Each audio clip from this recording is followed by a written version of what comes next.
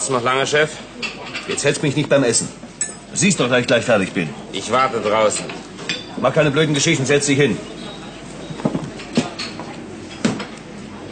Chef? Noch zwei Bier. Drei Bier und nur sagt der Rostbraten. Was ist mit dem Rostbraten?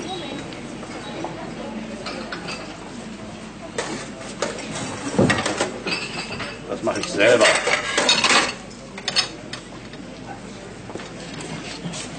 Na, Philipp? Auch wieder mal da? Du hast dich ja lange nicht mehr sehen lassen. Warst du krank? Wir sind viel unterwegs. Na, bis vor einem Vierteljahr bist du doch dauernd hier herumgesessen. da war ja auch Lilly noch hier. Wie geht's dir übrigens? Vielleicht fragen Sie Ihren Kugelblitz. Der weiß doch immer alles besser. Ach ja, diesmal nicht. Seit sechs Wochen hat er keine Nachricht von ihr. Also mir schreibt sie regelmäßig. Aber vielleicht wird sie mit der Zeit vernünftig. Ich warte draußen.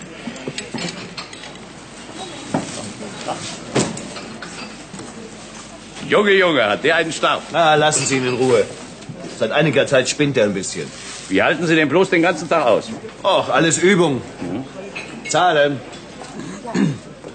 Drei Bier, eine Suppe, einmal Rostbraten. 1,70, 22, 95, 6,50 bitte mit. Sieben. Okay. Danke.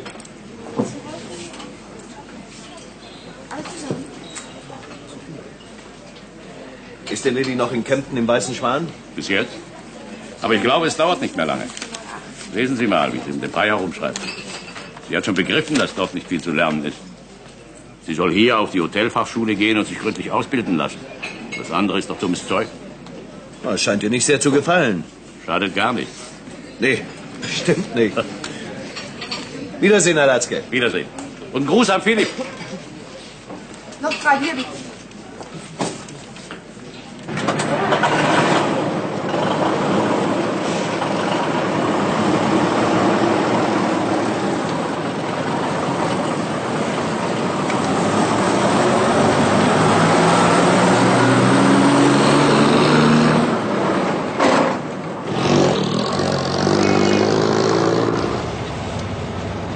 Gruß von Latzke. Ach, der soll mich da in Ruhe lassen. Ich bin noch nicht schuld dran, dass Lilly weg ist. Mal ein bisschen nachgeholfen haben wir schon. Na Gott sei Dank. Soll sie vielleicht ewig in der Klitsche rumhocken und Gläser spülen, nur weil es dem Alten in den Kram passt? Er will sie auf die Hotelfachschule schicken. Mich laus der Affe, auf einmal. Aber ich weiß, was dahinter steckt. In Kempten kann er sie nicht so beaufsichtigen. Soll sich endlich mal klar darüber werden, dass Lilly ein erwachsenes Mädchen ist. Die braucht keinen Aufpasser. Außer dir. Das ist ganz was anderes. Aha.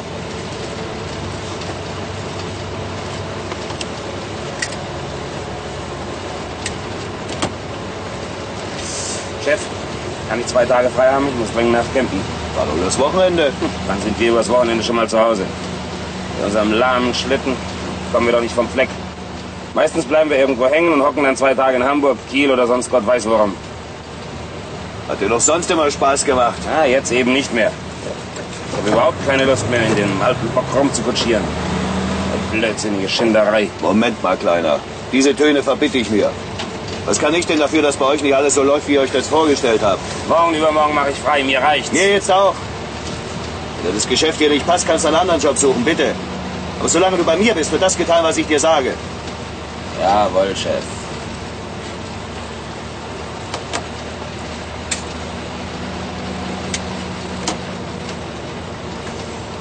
Morgen früh pünktlich um acht bist du in der Verteilerstelle. Ich will nicht warten, weil der Herr wieder mal verpennt hat.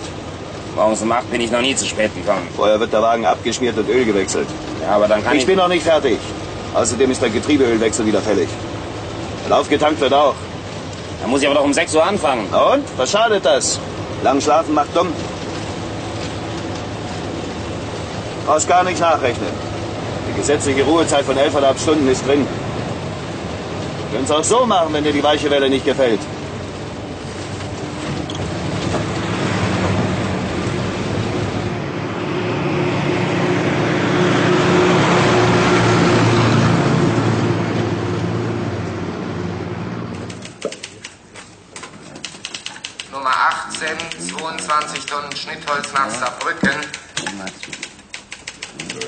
Nummer 18, 22 Tonnen Schnittholz nach Saarbrücken. Was ist mit Rückfahrt?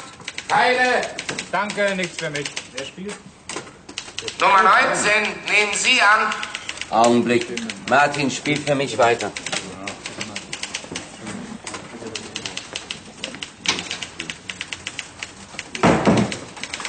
Morgen.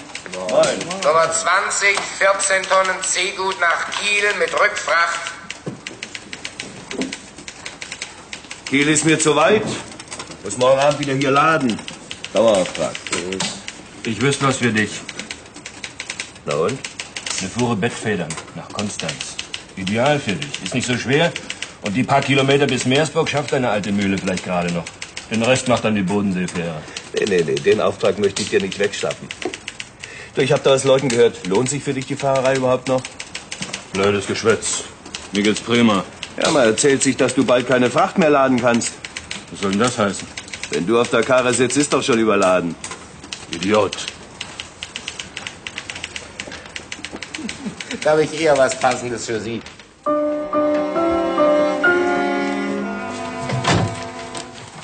Wie bist du eigentlich an diesen Hausmann gekommen? Über die Verteilerstelle. Das ist ganz einfach. Ich habe Ihnen was von wertvoller Fracht erzählt und ob Sie niemanden mit überdurchschnittlichem Verantwortungsgefühl wüssten. Möglichst ein Unternehmer, der noch selbst fährt. Da gibt's einen Blödian auch noch? Martin Hausmann, Ferntransporter aller Art. Nicht schlecht. Die Versicherung müsste eigentlich einen Sondertarif geben, weil wir so vorsichtig sind. Wann kommt er denn? Eigentlich müsste er schon unterwegs sein.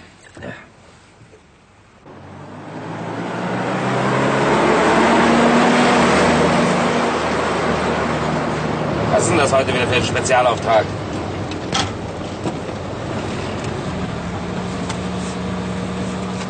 Oh, das werden wir auch noch vornehmen. Bilder, Gobelins, Skulpturen, Teppiche nach Schloss Oberarch. Den Auftrag habe ich für dich ausgesucht. Mir kommen die Tränen. Mein Chef richtet sich nach mir. Da ist doch ein Haken dabei. Allerdings.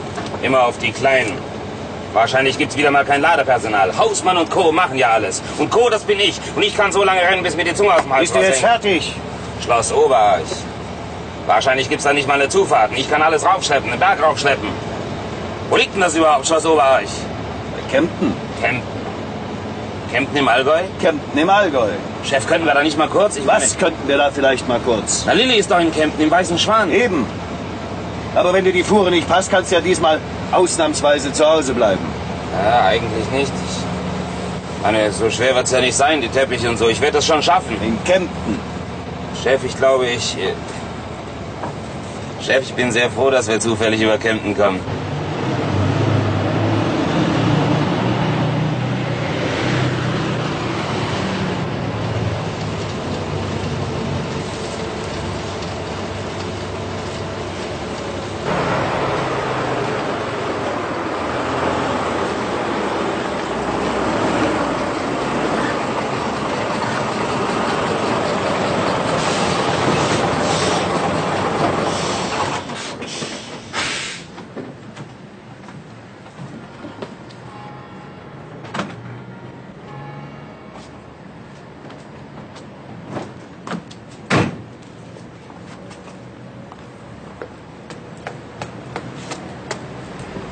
Hallo?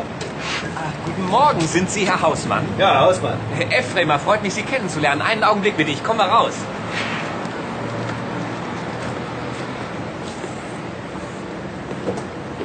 Die Herren in der Verteilerstelle sind ja voll des Lobes. Ich hoffe, Sie nehmen mir nicht übel, dass ich Erkundigungen über Sie eingezogen habe. Äh, Es handelt sich immerhin um einen nicht alltäglichen Transport. Ach, das machen wir schon, Herr Effremer. Müde, mein Beifahrer. Freut mich. Und wo soll ich laden? Äh, Nur keine Eile, Herr Hausmann. Äh, Für mich zählt nur, dass meine Sachen wohlbehalten nach Schloss Oberarch kommen. Ähm, den Mehraufwand an Zeit werde ich Ihnen selbstverständlich vergüten, aber über diesen Punkt können wir uns anschließend in meinem Büro unterhalten. Äh, Ich habe mir gedacht, dass wir einen Teil der Werke hier vor meinem Büro verladen und äh, dass Sie den anderen Teil äh, direkt vor meinem Lagerhaus übernehmen. Wo ist das? Äh, Dort hinten.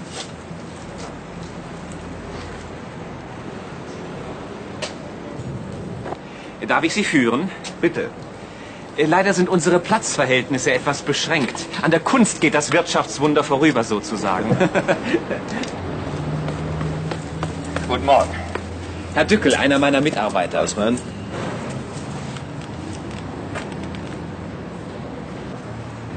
Kuppel ab und schieb den Anhänger rückwärts hier rein.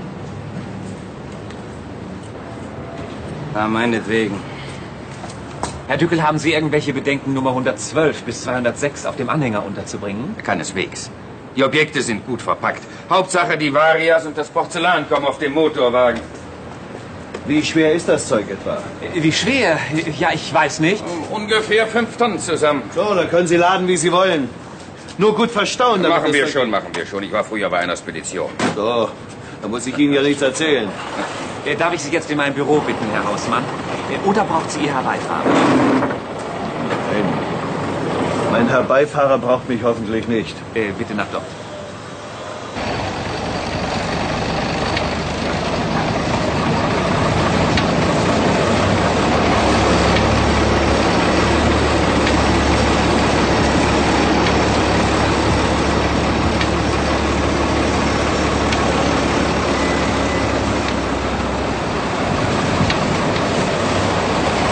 Äh, Ich darf vorausgehen.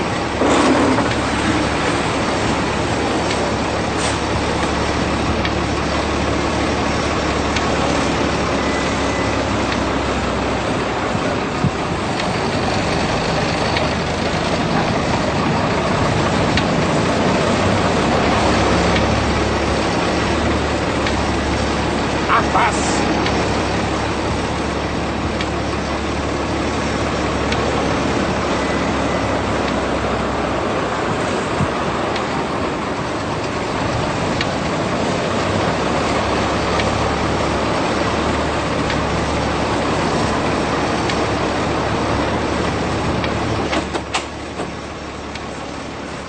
Äh, darf ich Ihnen eine kleine Erfrischung anbieten? Oh, lieber nicht, danke. Muss ja noch fahren.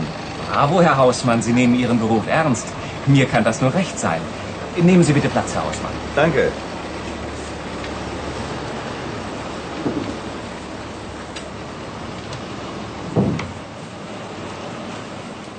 Sicher interessieren Sie sich dafür, was Sie eigentlich transportieren, wenn ich Ihnen kurz erklären darf. Ja, gern. Wir veranstalten, wie schon im vergangenen Jahr, auf Schloss Oberarch unsere große Herbstauktion. Als besondere Leckerbissen bieten wir neben einer reichen Waffensammlung aus dem ehemaligen Besitz der mittelfränkischen Kunsthalle 17. und 18. Jahrhundert eine Reihe selten gut erhaltener Antipendien sowie Bildteppiche aus besticktem italienischem Samt an. Dazu kommen noch Kleinodien der bäuerlichen Kunst, Reliquiare, sakrale Barockmalerei und dergleichen mehr. Das Einfachste ist, Sie schauen sich unseren Auktionsprospekt an. Da haben Sie alles beisammen, bitte. Danke. Oh, so eine ausführliche Ladeliste bekomme ich selten. Na, wenn ich Zeit habe, schaue ich rein. Äh, hochinteressant diesmal. Und wenn Sie irgendwelche Fragen haben, stehe ich Ihnen gerne zur Verfügung. Ja, einiges müsste ich schon wissen. Fragen Sie, fragen Sie ungeniert. Wie sieht denn die Straße nach Schloss Oberarch aus? Ist die asphaltiert? Sie haben recht. Erst die Arbeit, dann das Vergnügen. Also, Sie fahren zunächst Autobahn bis Ulm, dann am besten Bis Feldstadt weiß ich Bescheid, entschuldigen Sie. Ausgezeichnet. Dann brauche ich Ihnen nur noch die Strecke durch das Archtal und die Zufahrt zum Schloss zu erklären. Am besten, Sie zeichnen sich das auf Ihrer Karte ein. Hm, Also etwa 15 Kilometer hinter Feldstadt geht nach rechts eine schmale asphaltierte Straße ab. Hier sehen Sie dieser dünne Strich. Die können Sie nicht verfehlen. Direkt an der Abzweigung steht eine Tafel Archtal und darunter ein Schild zum Steinwerk. Archtal Steinwerk. Auf diesem Weg halten Sie sich immer geradeaus, bis Sie aus dem Wald rauskommen. Sie entschuldigen mich bitte.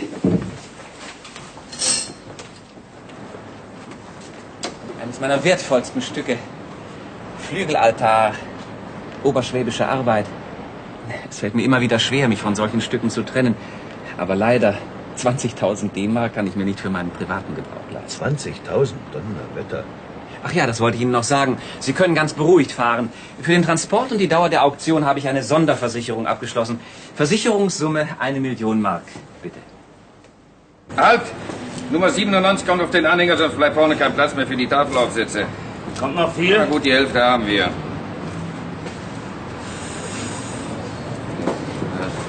Vorsicht! Legen Sie noch eine Decke um die badenden Frauen.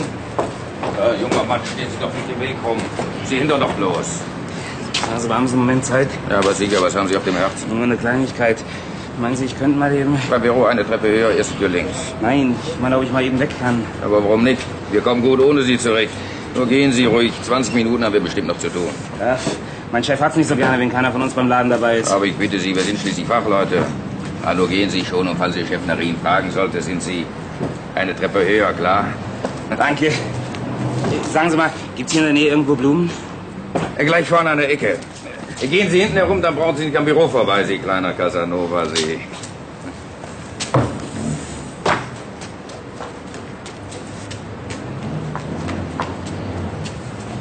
So, jetzt in Heiligen Sebastian.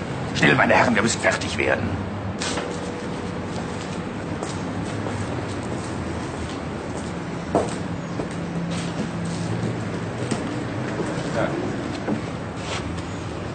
Halt! Lassen Sie mich das machen. Holen Sie inzwischen die beiden Tafelgemälde und den Totenschild. Nummer 86 bis 88 vorne im Treppenhaus.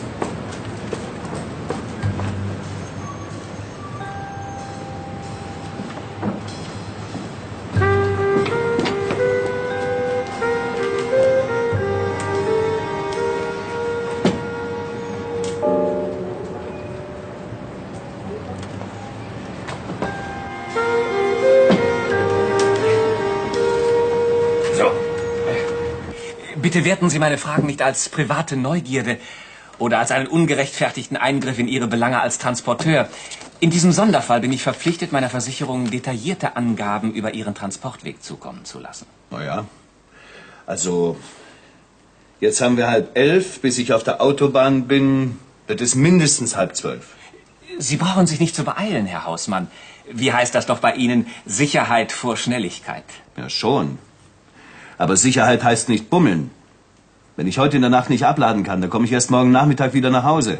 Verliere somit den ganzen Tag. Herr Hausmann, verstehen Sie mich bitte richtig. Wir können den Gästen auf Schloss Oberarch nicht die Nachtruhe rauben. In Ihrem Interesse. Und wo bleib ich? Darüber wollte ich eben mit Ihnen reden. So, wir wären soweit, Herr Elfremer. Der Gebetsteppich muss noch mit. Ja, was machen wir mit der Samlikone? Ach, die hätte ich fast vergessen. Sie hat Nummer 237, bitte.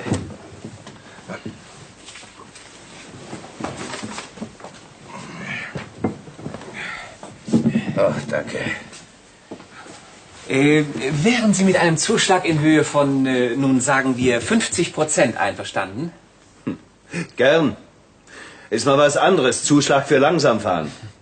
Mal werde ich in Kempten übernachten und fahre morgen früh weiter. Sehr schön.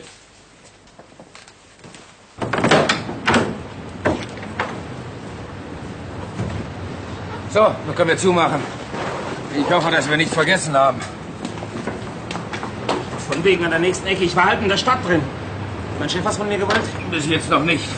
Übrigens, der Motorwagen ist lange fertig. So, hoffentlich habe ich jetzt alles. Äh, um eines wollte ich Sie noch bitten, Herr Hausmann.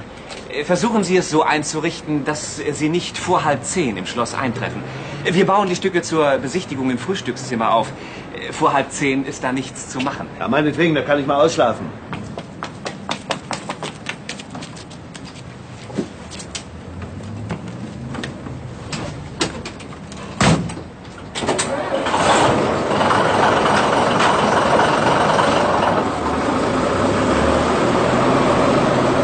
Halt! Anfänger! So wird das nie was! Hier an die Gabel!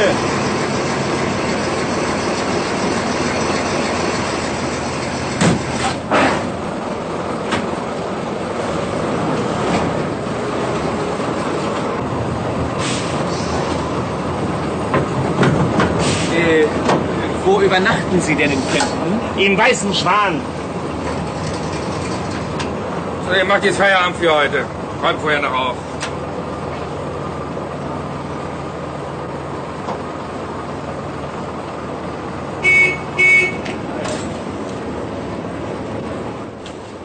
Läuft? Wie ist eigentlich die Analyse ausgefallen? Gar nicht schlecht.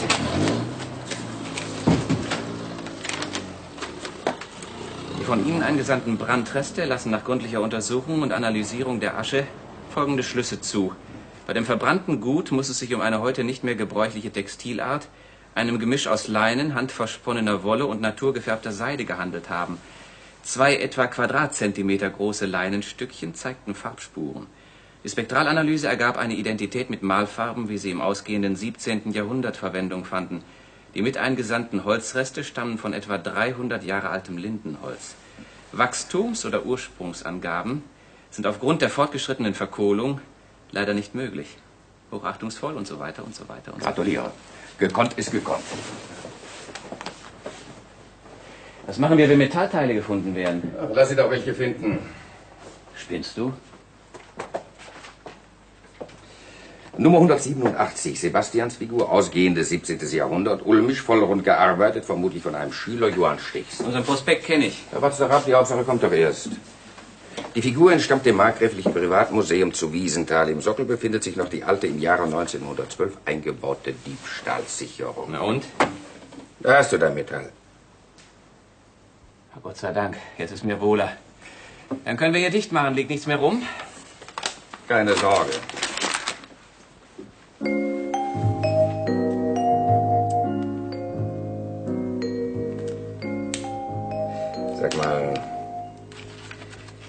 Was hältst du eigentlich von diesem Hausmann? Genau das Richtige für uns. Besser hätten wir es gar nicht treffen können. Dem schaut die Ehrlichkeit aus den Augen.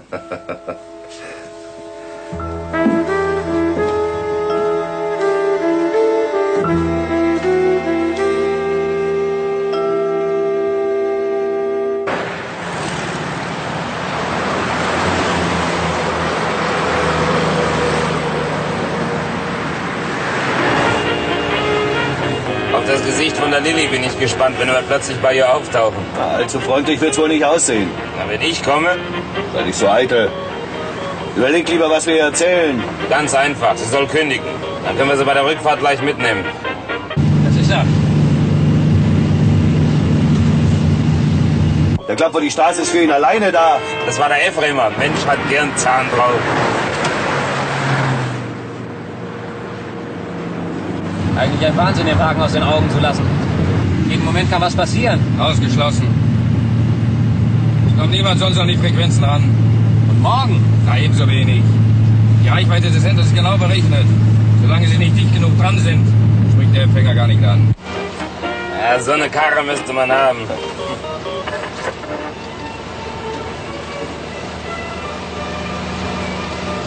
Ah, hast du endlich den Spaß an dem ewigen Jatzgejaule verloren? Nein, bereite mich nur auf morgen vor. Schließlich kommen wir auf ein Schloss. Oh, ich brech zusammen. Sie brauchen gar nicht zu lachen. Außerdem wäre es viel besser, wenn wir immer einen dunklen Anzug dabei hätten. Aber man kann nie wissen, was für Situationen man kommt.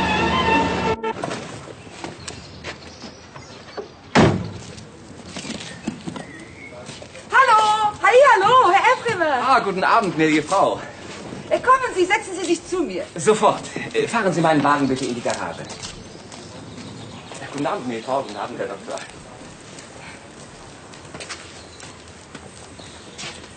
Donnerwetter, Sie werden täglich jünger. Schmeichler. Ich freue mich sehr, Sie zu sehen. Darf ich fragen, was Sie in die unberührte Natur verschlagen hat? Sie natürlich. Oh. Wo haben Sie nur diese Kostbarkeiten alle her? Zum Teil sind sie völlig unbekannt. Mein Lebenswerk sozusagen, gnädige Frau. Seit Jahren verfolge ich zum Beispiel den Weg dieser Antependien. Ich wusste, wo sie sind, ich wusste um ihren Wert und ich musste schweigen, um nicht diese unersetzlichen Kunstwerke einer Horde von gewissenlosen Kunsthyänen auszuliefern. Eine entsetzliche Entwicklung. Kunst wird zur Ware. Bedauerlich, aber nicht zu ändern. Äh, Professor Rohfilk will übrigens morgen auch kommen. Er fehlt auf keiner bedeutenden Auktion. Ah, guten Abend. Könnten Sie nicht einer treuen Kundin, ich glaube, mich als eine solche bezeichnen zu dürfen, einen Herzenswunsch erfüllen? Aber selbstverständlich, gnädige Frau. äh, noch sind wir allein. Zeigen Sie mir Ihre Schätze, bitte. Das geht leider nicht, gnädige Frau. Sie sind noch unterwegs.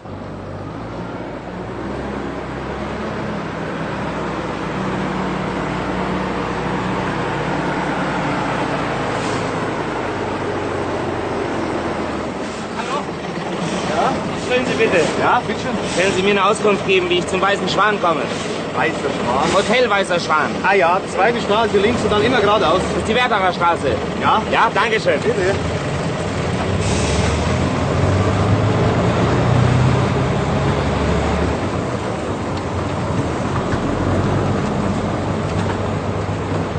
Darf ich Sie bitten, das Meldeformular Ja, aber seien Sie doch nicht so pingelig, Fräuleinchen. Ich bin doch Stammgast hier. Dr. Müller, Düsseldorf. Entschuldigen Sie bitte, ich bin neu hier. Ja, man merkt's. Zimmer 32, das haben wir immer gehabt. Bringen Sie das Gepäck auf Zimmer 32.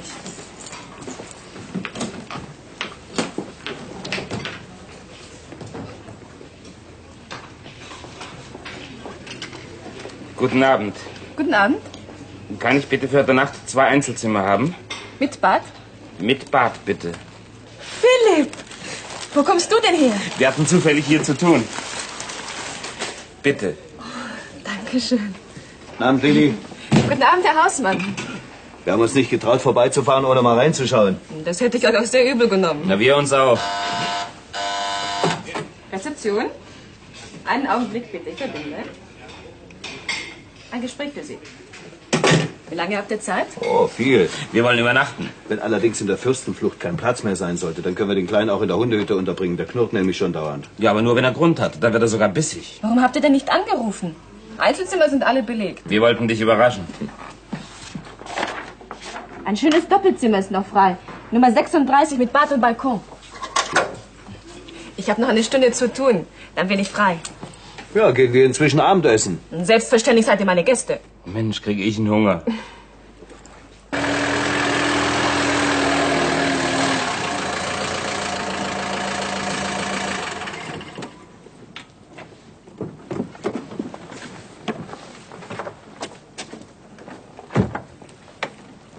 Versuch rauszubekommen, ob die beiden hier übernachten.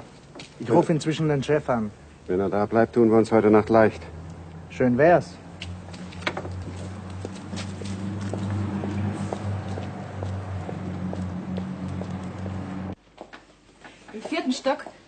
Seite ganz hinten. Endlich geht mein Wunschtraum in Erfüllung. Chambre séparée. Red kein Unsinn. Ich habe euch in meinem Zimmer decken lassen, was dort gemütlicher ist. Außerdem sieht's der Chef nicht gern, wenn wir mit Gästen im Lokal sitzen. Hm, Wir sind ihm also nicht fein genug. Das hat mit euch nichts zu tun. Und so geht doch schon drauf, sonst wird alles kalt. Lass uns nicht so lange warten. Guten Abend. Guten Abend. Übernachten bei Ihnen auch Fernfahrer? Nein. Ach so, das sind alte Bekannte von mir. Ist noch was frei? Für zwei Personen? Nur Doppelzimmer. Wir haben nichts dagegen. Zwei Herren. Zimmer 43 mit Terrasse. Mit Terrasse? Das Zimmer liegt an der Parkseite. Um Gottes Willen bloß keinen Park. Ich mache kein Auge zu. Die ganze Nacht grillen, Nachtfalterchen und so ein Zeug. Geben Sie mir was zum Parkplatz raus. Und möglichst im ersten Stock. Ich bin nicht schwindelfrei. Die Zimmer an der Rückseite sind alle von einer Reisegesellschaft belegt. Kann man die vielleicht tauschen? Leider nichts zu machen. Die Herrschaften schlafen schon. Sie fahren morgen früh weiter. Und mit Beziehungen?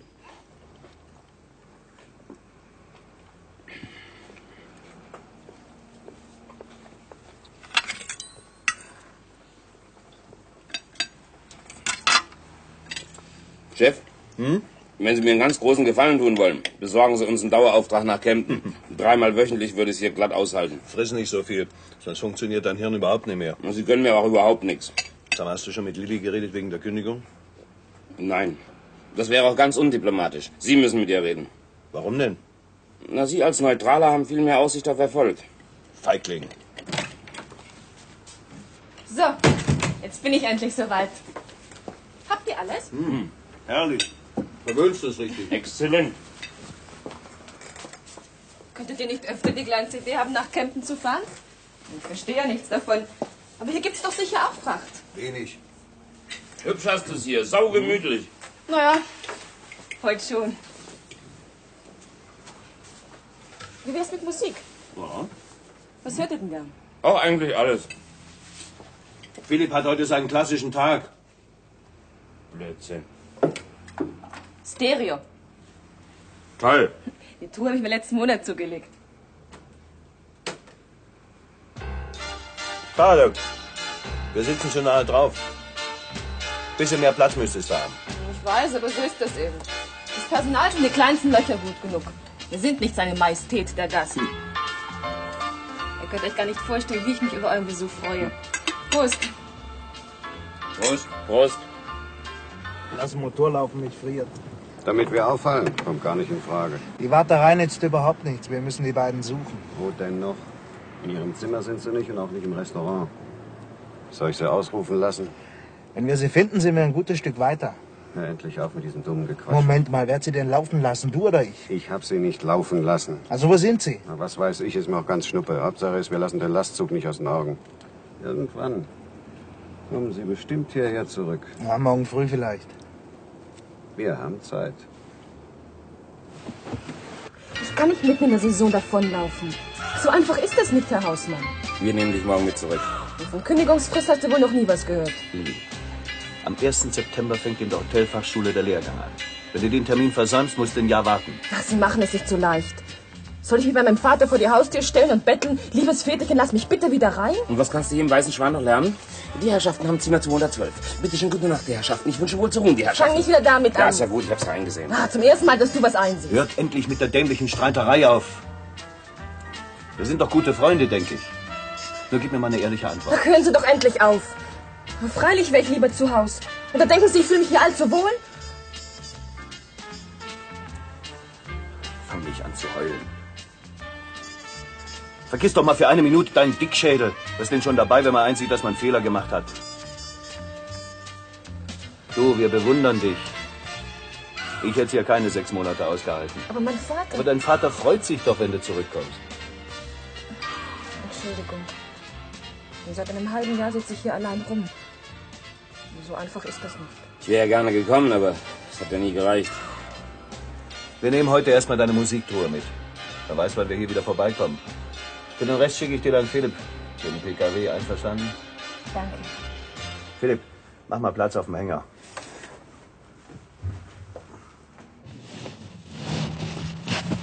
Na, was ist Frühstück? Dort am LKW. Es geht los. Philipp! Philipp! Ja, was ist los? Wie weit bist du? Reichen zwei Quadratmeter? Längst. Komm rauf. Sofort!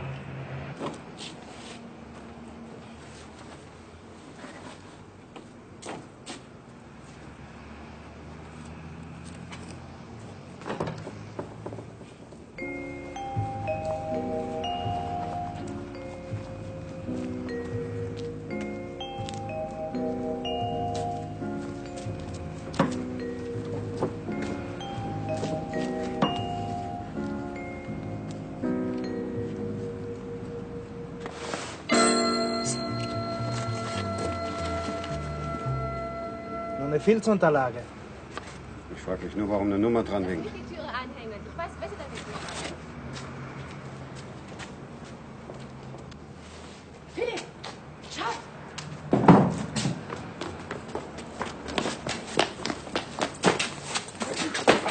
Dreckskerle! Geklaut wird bei uns nicht! Sieren Sie, lassen Sie mich erklären! Erklären können Sie später der Polizei! Los, weg! Ach, Sie Lilly. Was ist denn hier los? Ich weiß nicht, als wir rauskamen, war jemand am Wagen. Ja, die Herren scheinen sich nicht ganz einig zu sein. Philipp! Philipp! Rufen Sie die Polizei an, schnell. Ja, können Sie mir erklären, was hier los Rufen ist? Sie doch endlich an. Nicht mehr nötig, Lilly!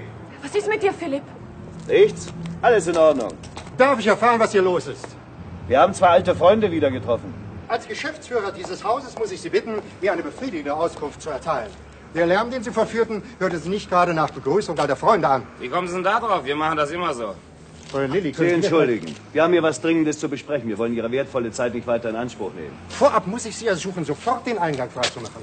Widrigenfalls Im sehe ich mich Augenblick will doch keiner rein. Wir haben Gäste, die auf ein vornehmes und seriöses Haus Wert Sparen Sie sich Ihre Spitzen. Wir kommen nicht aus dem Urwald. Wir wissen selbst, was wir zu tun und zu lassen haben. Können Sie einen Moment mit anfassen? Aber gerne. Selbstverständlich.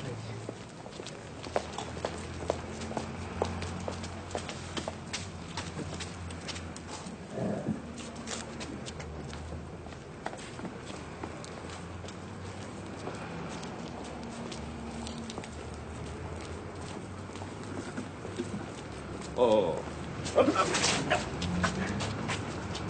Naja, danke. Den Rest macht mein Beifahrer. Mach dicht. Kommen Sie, wir gehen am besten nach oben. Wir können uns hier nicht ungestört unterhalten. Können Sie sich ausweisen? Selbstverständlich. Bitte sehr. Mhm, danke. Oh, das tut mir leid. Das ist Ihre eigene Schuld. Mit Klauern gehen wir nicht besonders zart um. Machen Sie sich keine Sorgen, das gehört bei uns zum Handwerk. Na, die Ausweise scheinen ja in Ordnung zu sein, soweit ich das beurteilen kann. Sie können gern bei der Direktion rückfragen. Guten Abend. Brummel. Mai, Sekunda Transportversicherung. Ja, die beiden Herren sind Versicherungsdetektive. Philipp hat mich schon aufgeklärt. Warum haben Sie sich eigentlich nicht zu erkennen gegeben, als Sie ins Zimmer wollten? Wir wussten nicht, ob Ihre beiden Freunde mit drinstecken. Also sehr viel Menschenkenntnis scheinen Sie nicht zu besitzen. Oder sehe ich vielleicht aus wie ein Halunke? Nehmen Sie doch Platz, bitte.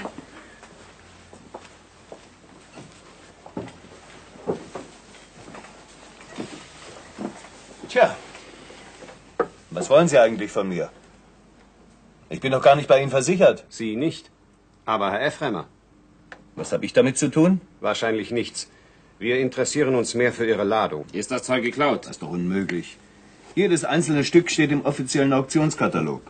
Wer gibt denn schon bekannt, was er geklaut hat? Sie haben völlig recht. Herr Ephremer ist der rechtmäßige Besitzer der Ladung. Da verstehe ich immer weniger, was Ihre Schnüffelei soll. Um ehrlich zu sein, Herr Hausmann, wir auch nicht. Noch nicht. Unseren Experten ist nur aufgefallen, dass Ephraim eine Reihe von verhältnismäßig wertvollen und teuren Stücken auf einer Auktion anbietet, bei der eigentlich nie zahlungskräftiges Publikum erschienen ist. In Oberarch wurde in den letzten Jahren eher bäuerliches Kunstgewerbe angeboten, Bauernmöbel, Spinnräder, Kupfergeschirr und ähnliches. Außerdem ist Herr Ephremer in Versicherungskreisen kein ganz unbeschriebenes Blatt. Auch der Transport mit einem Planenwagen erschien uns recht ungewöhnlich. Nicht, dass wir der Ansicht wären, das Transportgut wäre bei Ihnen nicht in guten Händen. Ganz im Gegenteil, Sie haben blendende Referenzen. Danke. Vielleicht sollten wir einen Unfall bauen. Wie ist denn die Straße zum Schloss? In dieser Richtung gingen zunächst unsere Vermutungen. Wir stellten jedoch fest, dass die Kunstgegenstände nicht über ihren Wert versichert sind. Im Gegenteil, leicht darunter. Das bedeutet, Herr Ephremer würde, egal wie hoch der Schaden ausfällt, in jedem Fall zuzahlen. Warum sollte er also an einer Zerstörung interessiert sein? An einer Zerstörung bestimmt nicht. Kaum. Aber vielleicht an einem Diebstahl. Aber die Straße zum Schloss ist sehr einsam. Sicher wird er die irgendwo zum Anhalten gezwungen und ausgeraubt von Ephraimer selbst. Dann bekommt er die Versicherungssumme und kann die Gegenstände trotzdem verkaufen. Ihre Fantasien, ehrenverehrtes Fräulein, aber wir leben nicht im wilden Westen. Kunstgegenstände dieser Qualität sind, wenn sie erst einmal in den Fahndungslisten der Polizei stehen, so gut wie nicht abzusetzen. Ja, aber man liest doch fast jeden Tag in Sie der entschuldigen bitte. Für einen Dieb wird ein Objekt erst ab einer gewissen Wertkategorie interessant. Beim Absatz über Hehler erzielt er nur etwa 10% des eigentlichen Wertes. Selbst wenn Ephremer alle Gegenstände unterbringen könnte, hätte er unter Einrechnung der Unterversicherung nur einen Gewinn von etwa 70.000 D-Mark. Dafür geht er das Risiko, entdeckt zu werden, nicht ein. Der Mann verdient sehr gut. Was halten Sie denn von einer ganz tollen Theorie? Der Mann ist ehrlich. Seit einer halben Stunde sind wir nicht mehr ganz davon überzeugt. Bevor wir, nun, bevor wir miteinander in Berührung kamen, waren wir so frei, Ihre Ladung in Augenschein zu nehmen. Unter der Nummer 193 bietet Herr Ephremer einen Bildteppich an. Italienischer Samt, seidenbestickt, 092 mal 2,37 Meter. Und wissen Sie, was wir als Nummer 193 gefunden haben? Eine ganz gewöhnliche Filzunterlage. So ein Schwein. Wir gehen zur Polizei und zeigen ihn an. Deswegen, wenn ich fragen darf. Er kann von Ihnen transportieren lassen, was er für lustig hält. Aber das ist doch Versicherungsbetrug. Erst wenn er die Versicherungssumme fordert. Vorher können wir ihm gar nichts anhaben. Die Fuhre gefällt mir nicht mehr. Wir fahren zurück. Er wird Sie wegen Nichteinhaltung des Transportvertrages belangen und ist gewarnt. So geht er uns nie ins Netz. Und unternehmen können Sie überhaupt nichts gegen ihn. Der Bursche ist kein Anfänger. Wie soll's jetzt weitergehen?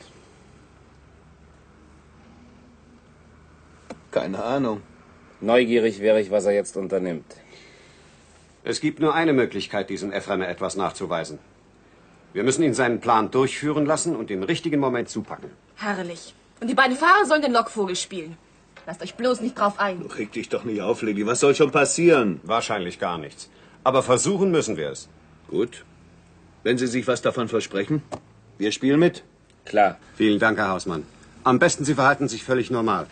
Wann wollten Sie morgen früh abfahren? Um sieben. Wollt ihr nicht doch der Polizei Bescheid geben? Keine Angst, Lilly, wir kommen alleine zurecht.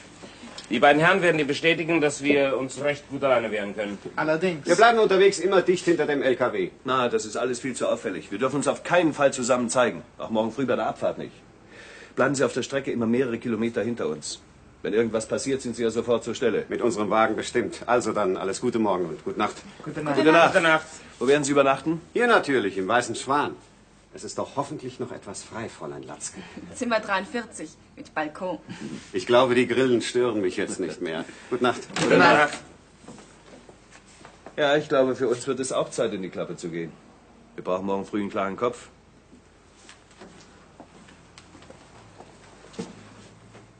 Was denn los, Lilly? Ich hab Angst.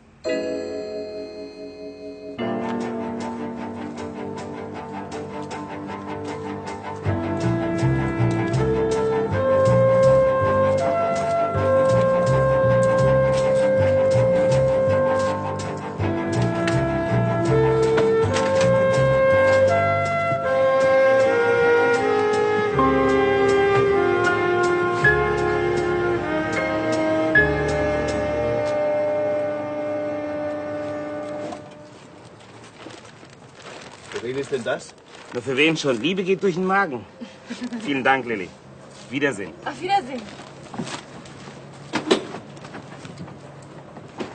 Ich halte euch beide Daumen. In Ordnung. Auf dem Rückweg schauen wir wieder rein.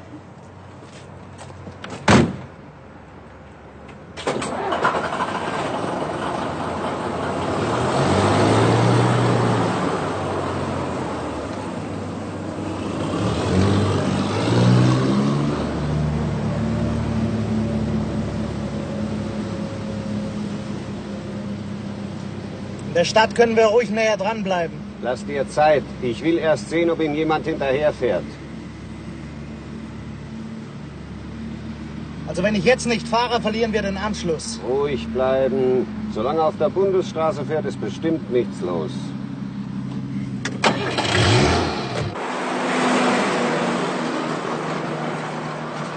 Der Kilometerzahl nach müsste es bald rechts abgehen.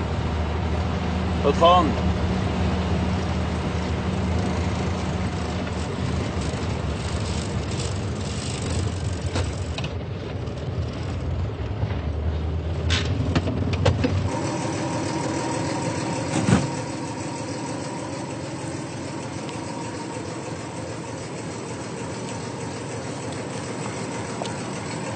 Bis 9 Uhr gesperrt. Hätte uns das der Ephraim nicht vorher sagen können. Na, vielleicht hat er es uns absichtlich nicht gesagt. Warum auch? Meinst du, er will uns in die Luft sprengen? Na, bestimmt. Fang doch nicht an zu spinnen. Die Versicherungsfritzen wissen genauso wenig wie wir. Wer weiß, ob an der Geschichte überhaupt was dran ist. Wir führen unseren Auftrag durch. Meinst du, ich will in den Ruf kommen, unzuverlässig zu sein? So spricht sich schnell rum.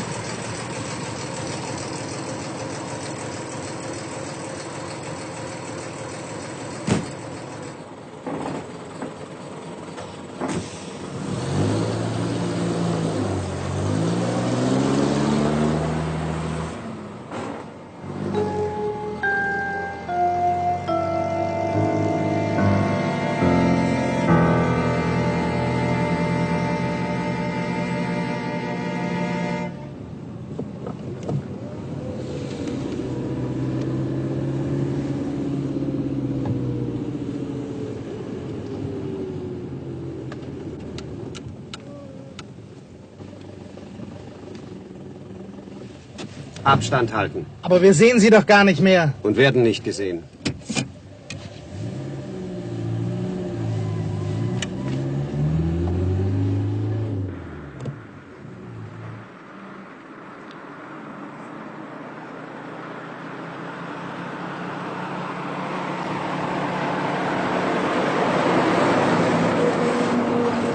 Fahr rechts ran.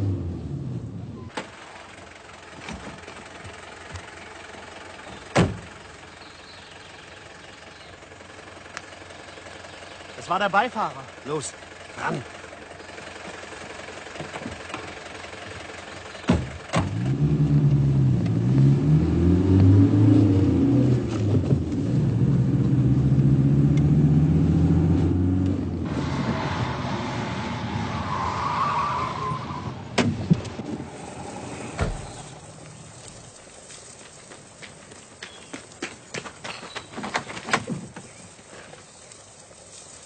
Was Bestimmtes?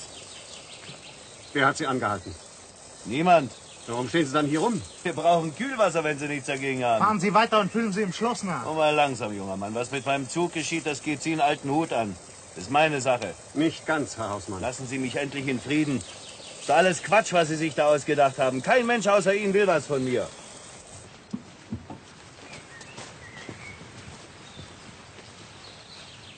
Viertel nach acht, wo bleibt der Kerl bloß?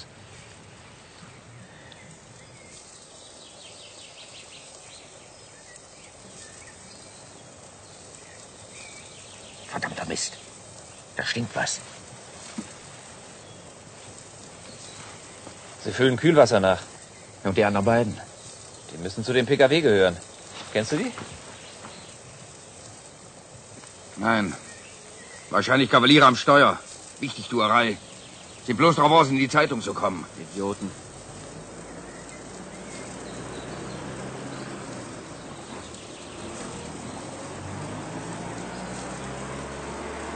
Nichts miteinander zu tun. Kommt.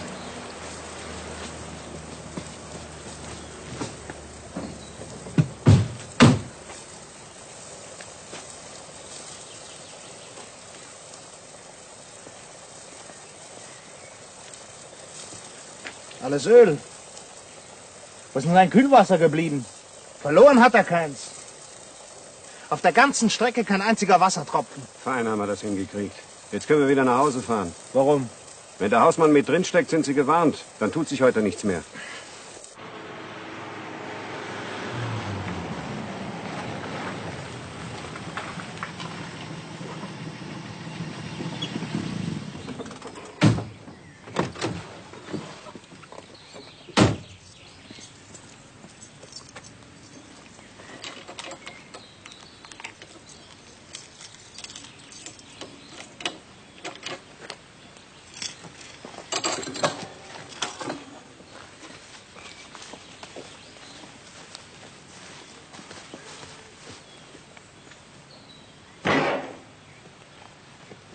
Mit dem Rest kommst du alleine zurecht. Schon gut.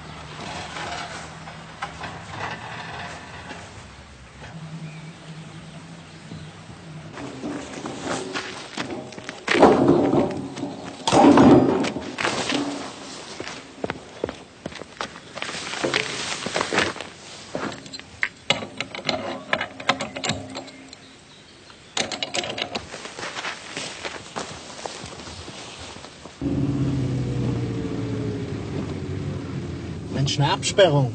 Danke. Ich bin nicht kurzsichtig.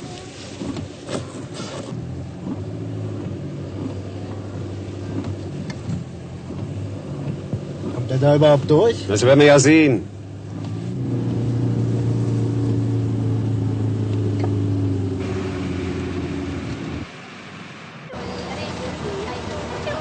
Müssen wir eigentlich gleich zurückfahren? Was denkst du denn? Hier müsste man mal Urlaub machen. Na, merk dir den Platz für deine Hochzeitsreise. Eine Ruhe ist das. Und das Alphorn bläst. Was? Hier gibt's keine Alphörner. Aber ich höre sie doch blasen. Das ist aber ein komisches Alphorn.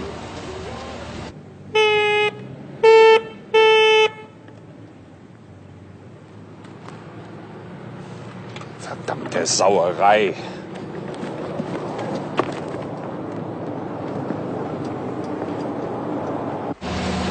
Denn der?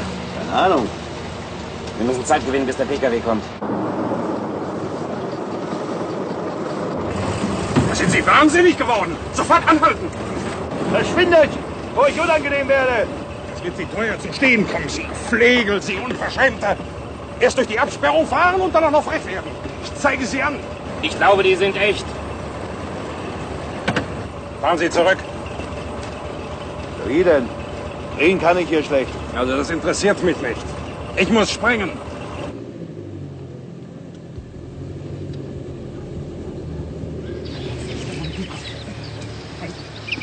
Los, fahr weiter, da sitzt der Efraimer.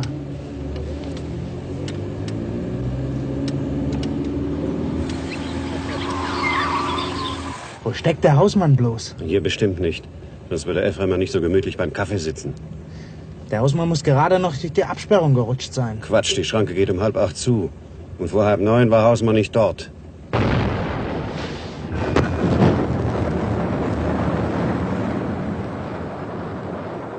Junge, Junge, meine Ohren. Sie sind aber empfindlich. Das waren nur 150 Gramm je Bohrung. Ich hoffe, Sie verstehen jetzt, warum wir absperren. Tut mir leid, aber ich habe die Schranke wirklich nicht gesehen. Die muss offen gewesen sein. Ja, das wird die Polizei feststellen. Mein Gott, wie oft muss ich Ihnen denn noch Ja, sagen? am besten gar nicht. Ihr Tonfall schmeckt mir nämlich nicht ganz. Entschuldigen Sie, dass ich Sie vorhin so angesungen habe. Es tut mir wirklich leid. Aber vielleicht hatte ich dafür meine Gründe.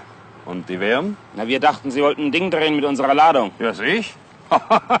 das ist mir noch nie passiert, dass mich jemand für einen Gangster hält. Sehe ich denn so gefährlich aus? Ja, eigentlich nicht. Wann Sie gefallen mir. Und die Anzeige? Geschenkt. Können wir jetzt weiter? Bloß nicht, wir haben erst die Hälfte. Jetzt kommt die Seite drüben bei Ihrem Wagen dran. Oh, dreh das Seitenfenster runter und lege die Sitzbank vor die Frontscheibe.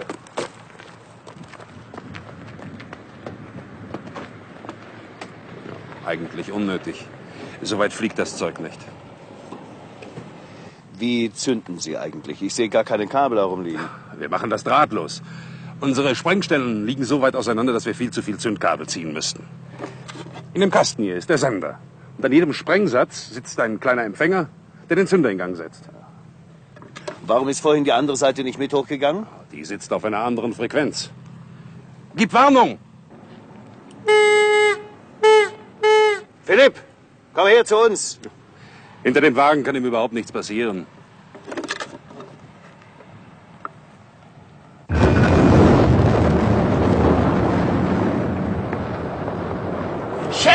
Na, du Angsthase, warum rennst du denn so? Im Hänger hat's geknallt. Na, Sie können jetzt fahren. Danke. Und auf Wiedersehen. Wiedersehen. Na komm, du Held. Chef, wir brennen!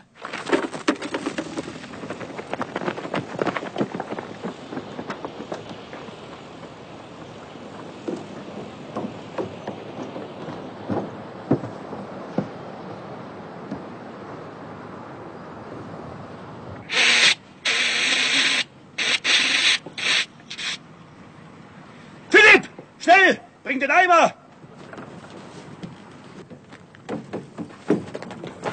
Wo gibt's hier Wasser? Oben am Stausee, das ist über einen Kilometer Waldweg. Können wir nicht Erde drauf schaufeln? Das nützt ja nichts. Das Zeug brennt wie Zunder. Im Hänger drin ist was explodiert. Ich hab's genau gehört. Ja, mit der Sprengung kann der Brand nichts zu tun haben. Kuppeln Sie den Anhänger ab, sonst fängt der Motorwagen auch noch Feuer. Halt! Der Hänger bleibt dran. Jetzt begreife ich erst, was hier gespielt wird. Das ist ja wahnsinnig. Denken Sie an Ihren Motorwagen. Philipp, steig ein. Merken Sie sich die Frequenz, auf der Sie gezündet haben.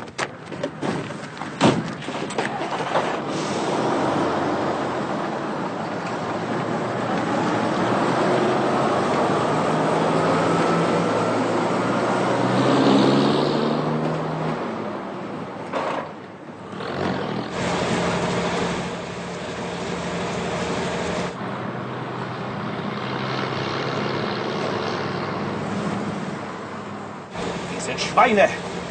Denen werden wir die Suppe versalzen. Wie sieht's aus? Schlecht! Ah, wir sind gleich da.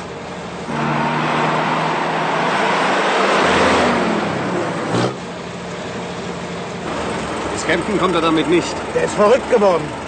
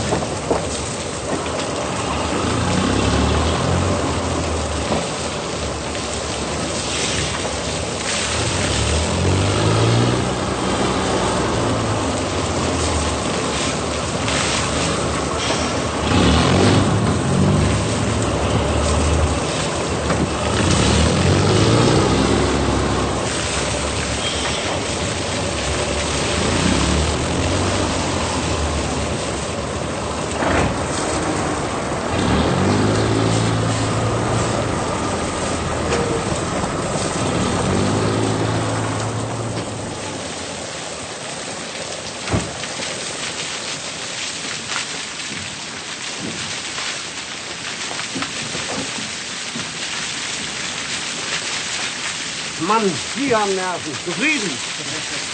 Jetzt haben wir ihn.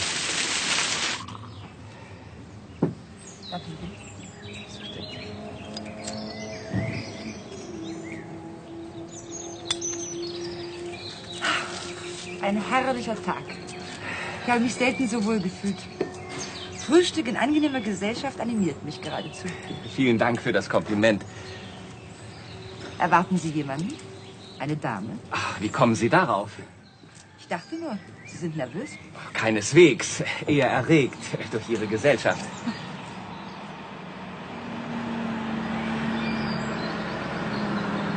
Na Gott, was ist denn los? Sie entschuldigen bitte.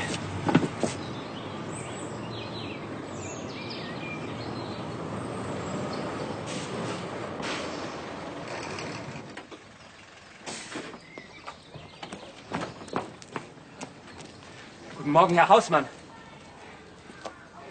Wo haben Sie denn Ihren Anhänger? Ist Ihnen auf der Fahrt etwas zugestoßen? Ja, wir hatten Pech.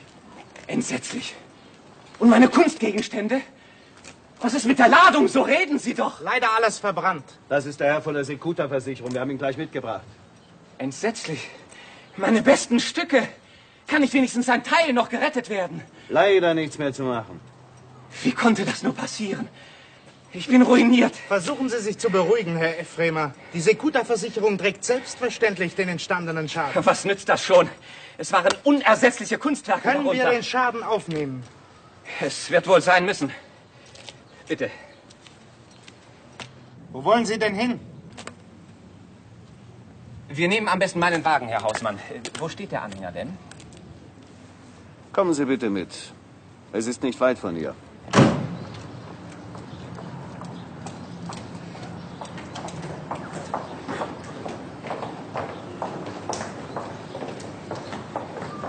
Alle Stücke, die im Anhänger waren, sind im Prospekt angekreuzt. Ich wollte damit das Abladen und Aufstellen vereinfachen. Bitte.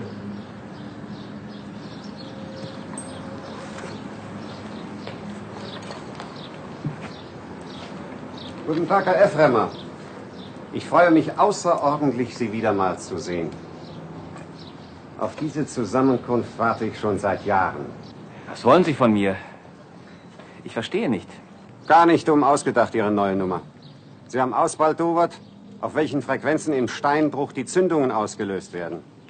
Haben einen kleinen Sprengsatz in den Anhänger von Herrn Hausmann geschmuggelt und lauter wertloses, aber leicht brennbares Zeug drumherum gepackt. Dann haben Sie Herrn Hausmann genau zur Sprengzeit in die Nähe des Sprengmeisters dirigiert. Er hat ahnungslos Ihre Ladung mitgezündet. Gut ausgesucht, der Platz. Dort gibt es wirklich weit und breit kein Löschwasser. Nur in einem Punkt haben Sie sich verrechnet. Herr Hausmann ist ein mutiger Mann. Ja, besonders wenn man versucht, ihn übers Ohr zu hauen.